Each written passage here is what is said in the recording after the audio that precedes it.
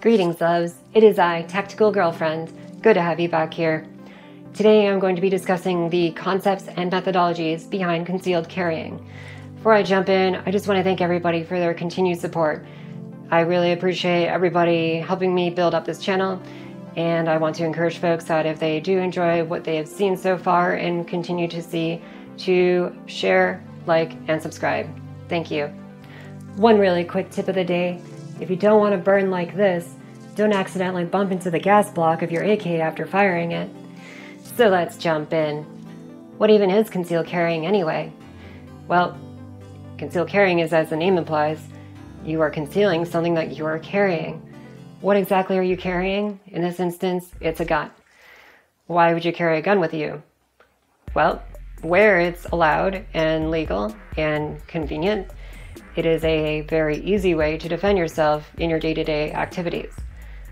Well, why are you concealing it? Well, because we're assuming that whatever locale you're in, it is legal to do so. It is also, again, convenient to do so. And open carrying in your day to day activities generally deemed as pretty rude. So, so before we get into the nuts and bolts of concealed carrying, there are a few practical considerations that we need to take. First of all, is it legal where you live? Um, you don't want to oh no the 5 So make sure that it is absolutely legal, whatever you're doing, first and foremost. Another really important consideration in terms of legality is interstate travel. If you are concealed carrying from a place that it is legal to conceal carry the way you are to a place where it potentially may not, you're going to want to know that. So consider your destinations as you travel when you are concealed carrying. A really important thing that I want to underscore here is that concealed carrying is a lifestyle. It's not something that you just casually pick up one day. It is something that you carefully understand how to do very proficiently. It is something where you are constantly aware of the status of your weapon, that you are carrying in a responsible manner, in a legal manner, and that you have good habits built upon it. So, with that being said, I think that you should generally aim to carry all the time. This is not generally something that people will decide to do when they feel like it because the entire point of concealed carrying is to always be ready to defend yourself. That means also building good habits that you can retain constantly, and it is not just a once in a while affair. This also means developing a regimen around how you carry. So, generally, loading up and holstering properly and making sure that you are truly good to go out that door every single time. And then when you go home, make sure that you're unloading properly and that you are safely dismounting that weapon. Another really important point that I want to stress is that by merits of concealed carrying, you are utilizing what is potentially lethal force. This means that you also are responsible with how you conduct yourself, keeping yourself away from potentially dangerous situations in which you might feel the need to use it. You don't want to use it if you don't have to. This means not getting into fights and brawls. It means generally avoiding conflict as much as humanly possible. I also want to make a good point here that when I carry, I absolutely will never carry without pepper spray. I want to be able to resort to less than lethal force, if at all possible, before I ever even think about drawing a gun on anybody. The last thing I ever want to do is actually shoot somebody. Another really important aspect of this lifestyle is your wardrobe. A lot of people who are concealing on their person are going to require a very particular wardrobe to facilitate this. This might mean a complete overhaul of your wardrobe or getting creative with various concealed carry methods in order to better tailor that around your wardrobe. Regardless, you don't want to leave your home looking like some weird super soldier. You want to still act normal, you still want to look normal, you want to blend in. You don't want to scream, I'm loaded. Just make sure that you're being very practical about this. Another really important aspect is considering where you're going with your concealed carry weapon. Are you going near a school zone? What's the legality around that? Are you going to a bar? Well, you probably aren't going to be allowed to conceal carry inside there if you're getting served alcohol. There's various places where you simply are not legally permitted to conceal carry, so please keep that in mind. Also, while you're about, consider how you usually are going to be moving or not moving.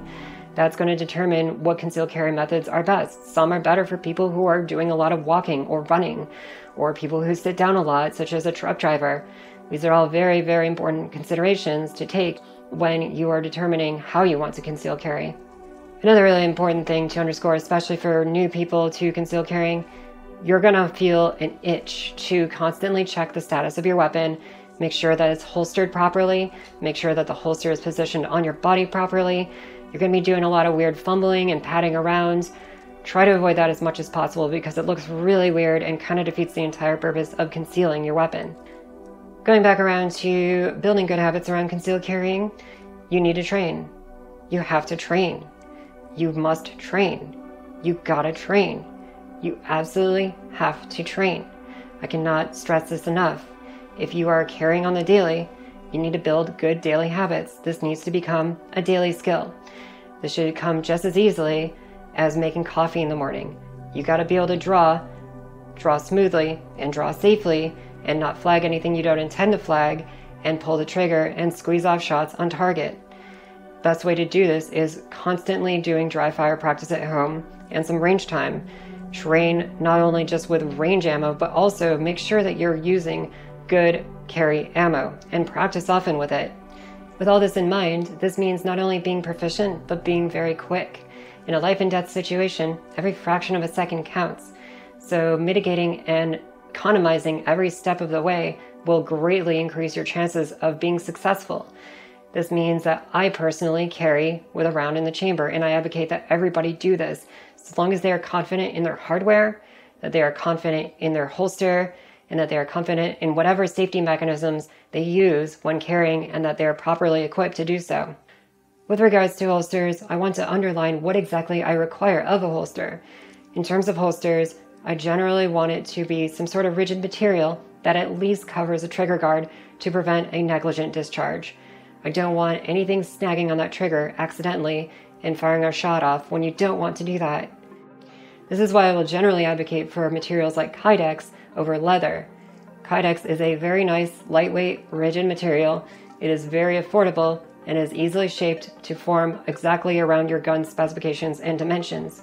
As far as leather goes, leather can warp over time and can potentially get itself locked into the trigger guard and cause an ND. You don't want that. It's really important to keep it simple. You shouldn't have a million and a half holsters and swap them out constantly and a bunch of different guns, you want to be proficient in all of your hardware.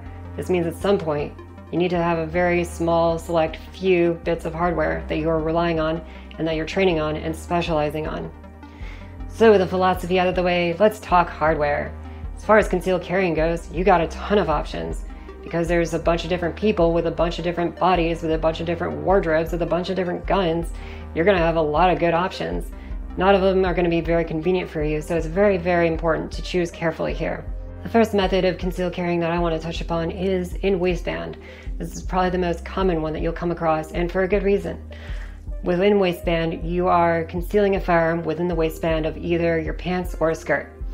Some holsters will have a mounting clip as such that goes over a belt, and then your firearm will mount on the inside of that waistline as such. The reason that this is a good method is because it is readily accessible because your hands are usually around your waistline and you can quickly draw. As far as belt mounted holsters go, you want to make sure that you are using a proper carry belt. That means a rigid and thick enough belt in which the holster can clip on and not come off when you pull the gun up to draw. If you're wearing an article of clothing like shorts with an elastic waistline or a skirt, or anything that doesn't have belt loops on it to mount your belt on, you want to make sure that you're using some sort of clip that can aggressively grab onto that material properly, such as this UltiClip here, which can clamp down and hold on very well to that material so that it doesn't come up when you draw. A very important consideration is where you mount your holster on your waistline. This is going to be unique to every individual and their body and their needs and how they dress but keep in mind that I personally recommend starting with appendix carry. Appendix carry is your 11 o'clock or 2 o'clock position of your waistline. Generally, this will give you the most control over your immediate weapon. It'll give you the most access to it. It'll give you the fastest draw. This is absolutely the best starting point that I want to recommend. A lot of folks like to carry from their 3 o'clock to their 6 o'clock to their 9 o'clock position, and these are all absolutely valid ways to carry. However, they do come with some disadvantages. You may have reduced draw time because you're reaching back rather than reaching your immediate frontal region. This also means that you don't have nearly as much control of the weapon if you're concerned about people grabbing for your gun. Another thing to consider is that people oftentimes do fall backwards more often than forwards, so that does create a liability if you do fall on your gun. If you are concealing your weapon in the small of your back, you especially need to consider whether you're standing a lot or sitting a lot, as sitting can be generally uncomfortable if you're doing so. Another thing to consider is if you're bending over a lot, doing a lot of work that requires you to do so, the garments that you choose may ride up and reveal your weapon. Another method is pocket carry. Pocket carry is basically exactly what it sounds like. It's typically you carrying some sort of subcompact pistol in your pockets unless you have really, really big pockets, in which really cool for you, dude. When you're pocket carrying, you're generally going to have some sort of soft holster. This is the first problem I have with pocket carry is that it doesn't actually form a rigid barrier around the trigger guard. It helps prevent the trigger from being pulled nonetheless, but it's not perfect. The other problem with pocket carry is that you have to reach your fingers in there, squeeze them in that pocket, properly grip the gun, don't accidentally pull the trigger as you draw. It's slow, it's just not the best way to do it. I think that there are far better options out there. However, if for whatever reason you are limited to this option, it is technically viable. Another method of concealed carrying are thigh holsters. Thigh holsters are typically an elastic band of material that wraps around your thigh, much like this, and utilizes silicone bands inside to maintain a grip. On this, you'll typically mount your weapon on the inner thigh of your non dominant side. This is typically reserved for subcompacts, you also might want to opt to use some sort of garter belt to further secure the thigh holster. Much like pocket holsters, one of the biggest disadvantages of thigh holsters is a lack of a rigid guard around the trigger. This does raise some safety concerns, so please make sure that you're not necessarily jumping to this as your first method of carry. However, it looks pretty cool, so there is that. Another one's bra holsters. Bra holsters typically mount the gun just below the bra line and above the abdomen, front and center. This is particularly best served by people who are a bit more well endowed, uh, not so much for members of the itty bitty titty community like me, but your results may vary. Um, I typically don't recommend this because, for one, it's awkward to draw. Two, your gun is always pointing in a very weird direction, typically pointed at your non dominant arm, and it just doesn't really feel very safe in general to me. Um, your mileage may vary, and it may very well be the best way to do it in your circumstance, though. Another one on the list are ankle holsters. As the name implies, ankle holsters are mounted on the ankle. This can be good for people who do a lot of sitting and only sitting. Um, it's also good for a backup gun because you're a real boss hoss and you just have to have many guns on you. I generally don't even like recommending that people consider ankle holsters as the draw is very awkward. It makes you walk funny and it only generally works if you wear very long, big pants. But I got you, JNCO fans. Another one are shoulder holsters, which are especially good for detectives in 70s movies and people who like wearing really big coats all the time. This has its disadvantages, though, for those folks. Specifically, the gun is never pointing in a safe direction, it's always pointing back. It also requires a cross draw, which is potentially a liability for flagging things. Also requires a lot of fitment and proper balance, between the two sides of the shoulder holster in order to not be too uncomfortable. A slightly more practical consideration can be belly bands and corsets. These wrap around the abdomen, typically use some sort of elastic material, and have a pocket to holster your weapon in.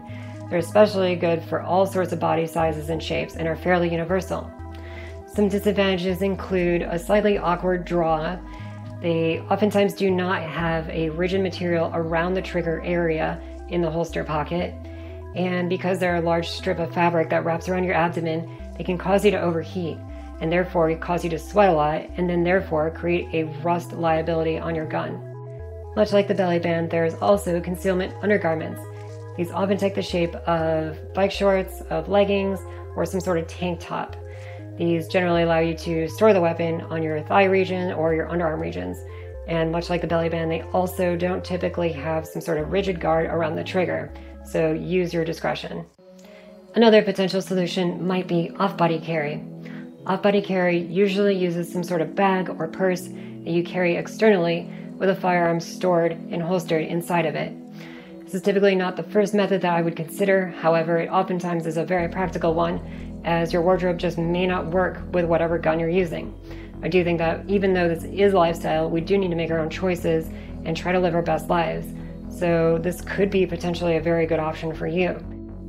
A potential concern for off body carry is making sure that the firearm is within reach, that it is within your control, and that you're not just leaving your bag sitting somewhere unattended. So make sure that you are very aware of how you are carrying when you're using this method. It's especially important with off body carry that you're utilizing the best hardware possible for the job. This means not getting a purse that you just throw a gun in into a void mixed around with your chapstick and whatever. It means making sure that you can draw very quickly from it, and therefore, you want to make sure that whatever compartment that you are storing the firearm in is readily accessible. I generally don't recommend using some sort of zipper compartment or any overly complicated method of drawing and accessing your firearm.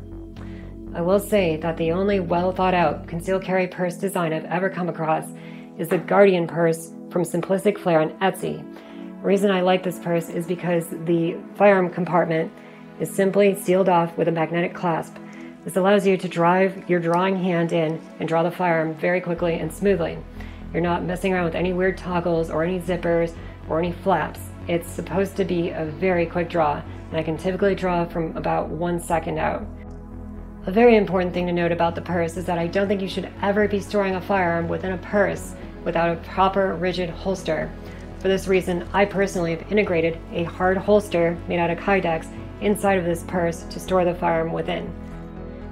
Another interesting method of concealed carrying are fanny packs.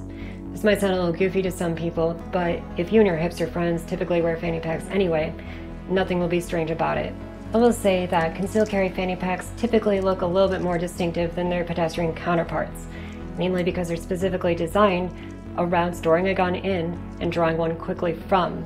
The 5.11 concealed carry fanny pack has a quick draw tab to rip away the zipper compartment to quickly access your firearm. I think it's important to highlight yet again that because you are storing a firearm in a very soft material, you may want to consider getting some sort of rigid trigger guard holster to integrate with your fanny pack so as to better reduce the chances of a negligent discharge. The firearms world does tend to be a little bit limited when it comes to traditionally feminine methods of carry. For this reason, I do want to highlight Dene Adams as well as the Well Armed Woman as great resources for carry accessories. Well, that wraps up my thoughts on concealed carrying. It's a very personal journey and a very demanding skill, so please be very careful in considering every aspect about this. As always, I really appreciate you all tuning in. Please take care. Bye!